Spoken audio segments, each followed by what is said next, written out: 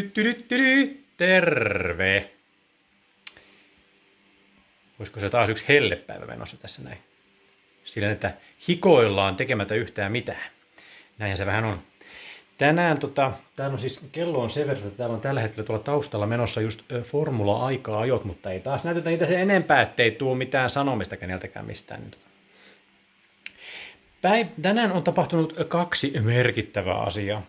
Toinen on se, että kun katsoo tänne lattialle, täällä ei ole mattoa. Mitä on tapahtunut? On tapahtunut se, että mone, monen monen vuoden arpomisen jälkeen päätin käydä pesemässä maton, tai pese, miten se pitäisi sanokaan sitten, pese, pesettämässä tai pesemässä. Kuitenkin Prismalla on täällä semmoinen tota, niin, pesulapalvelu siinä samassa yhteydessä – missä on siis koneita, pyykkikoneita ja myös semmoisia mattopyykkikoneita.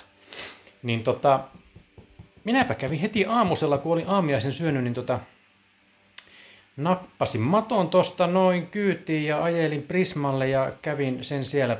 Se on puoli tuntia pyörii siellä koneessa ja ai että kun tulee puhdasta ja raikasta ilmeisesti. Nyt se on roikkunut siitä asti sitten tuolla, tota, niin, se on nyt roikkunut jo kohta puoli päivää tuossa tota, niin, mattotelineellä kuivumassa ja mitä tuossa sitä äsken, äsken käpälöin, niin aika tota, niin, kuivan oloinen alkaa jo olla, että tota, niin, semmoiselta kohta varmaan vaikka tähän sisällekin kantaa. Toinen aktiviteetti, mitä on tänään tehty, niin on tapahtunut täällä, täällä parvekkeen puolella ihan just tässä hetki sitten. Mennään nyt tänne, vaikka täällä tota, niin mittari näyttää 30 parvekkeella. Täällä tota, minä hankin tänne nyt tämmösiä neilikoita. Jollainen minulla on tässäkin ollut. Koska tota, okei, no nämä näyttää nyt pahimmilta, mitä nämä on näyttänyt aikaisemmin, mutta siis päätin antaa näiden kuivahtaa, koska mä en tiedä, onko me niinku kastellut heitä alun perin liikaa vai lannottanut liikaa vai mitään, mutta kun kasvaa tämmöisiä ihme hontelo-ruipeloita, niin ei ole, ei ole kauhean nätin näköinen. Niin tota, ajattelin, että pistetään nyt uusiksi. He saa nyt lentää tuosta mäelle. Ja tota, niin, nyt minulla on tuossa neilikat, mitkä ainakin tuossa pöydällä tuntuu niin pärjäävä oikein mainiosti. Hän kukkii niin penteleesti. Ja tota, niin nyt on sitten tossakin pikkasen tummemman, no just aavistuksen ehkä on tummemman punainen jo. Vähän myös mietityttä tuolla tota, niin, pihan puolella oleva se, se, se, se, se, se, se daalia siinä, tota, niin, kun, kun, no se, se on nyt vähän joutunut variksen uhriksi. Täällä on kyllä niin, että mennäänpä tota, niin, täällä on edes pikkasen, edes pikkasen ei tässä nyt valtava lämpötila ero, mutta täällä on tää tuuletila mikä puhaltava sen verran, että tässä on niin kuitenkin vähän mukavampi ehkä olla tällainen.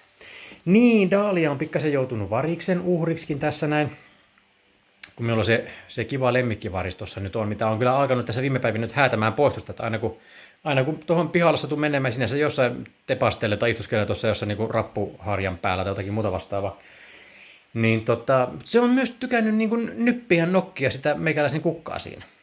Että sieltä oli niin pari kolmekin kukkavartta jo katki, kun hän käy siellä nyt vähän tutkimassa sitten, että mikä tämä daalia on. Plus se oli sitten eilen, eilen onnistunut sitä kastelusysteeminkin tota, niin yhtä sitä letkua nyhtämään sieltä pöntöstä sillä tavalla, että se oli sitten niin kuin, tullut jo niin kuin, pois sieltä vedestä ja kuivahtanut koko se yksi, yksi tötterö sieltä. Että, tota, niin, muutenkin aika, aika lujille nyt tuntuu. Tämä on nyt vähän semmoinen testi ollut tässä, että tota, niin, helle testi, että miten Daalia kestää sen kastelujärjestelmän kanssa. Ja kyllä se aika silleen niin kuin, ainakin tällainen niin aamupäivällä, kun siihen, siihen oikein paistaa aurinko, niin se on vähän kärsivän näköinen ja tota, niin sitten se pikkasen aina tsemppaa sille illemmalla, mutta tota, niin se on nyt, nyt kun se on kärsinyt vähän tästä helteestä ja kärsinyt vähän variksesta, niin me todennäköisesti heivaan senkin sitä pois kyllä sitten ja otan siihen tilalle, tilalle jotakin muuta. Nuo siis kävin, kävin rustasta hakemassa noin neilikat ja koitin katella, että olisiko siellä ollut tota, niin, tota, tota, laventelia, semmoinen iso, isompi, mikä heidän nettisivuilla näkyy ja sen mukaan piti Joensuun kaupassakin olla, mutta eipä siellä sitten ollut laventelia, että olisin siihen tilalle ottanut. Tota, niin, mutta tota, katsotaan nyt, täytyy varmaan tuo daalia tuosta heivata mäelle ja sitten hätistellä jatkossakin varista pois siinä se käy juomassa ja tota, niin, norkoilee. Tosi ei tunnu oikein, niin kuin se on vielä sen verran, vaikka se nyt on jo aika niin kuin silleen ihan aikuisen kokoinen, mutta jotenkin se on vähän pöljä vielä. Siinä se vaan on niin kuin tuossa, äskenkin kun lähdin sinne rustaan, niin tuossa pihalla sitä hätistelin ja läpsyttelin käsiä, niin siinä on tim, tim, tim, tim, tim. rasittava lintu, vaikka ensi oli niin kamalan sympaattinen, kun hän kävi minun vesiä juomassa siellä sitten. Niin, niin se sympatia äkkiä rapisee tuommoisessa luontokappaleessa.